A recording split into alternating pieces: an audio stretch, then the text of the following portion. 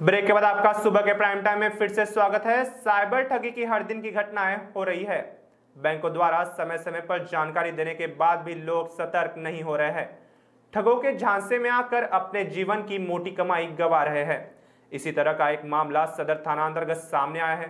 Cyber अपराधियों ने एक महिला के मोबाइल फ़ोन पर सिम कार्ड के केवाईसी अपडेट करने का झांसा देकर खाते से दो लाख निन्यानवे हज़ार रुपए उड़ा लिए। पुलिस से मिली जानकारी के अनुसार Jeevodhara education society, residency road, SFS complex निवासी ज्योति मार्थो के मोबाइल पर अज्ञात व्यक्ति का मैसेज आया। इसमें उसने जोशी के बीएसएनएल की सिम के केवाईसी अपडेट करने के लिए कहा। इसके लिए आरोपी ने एक ऐप डाउनलोड करने को कहा।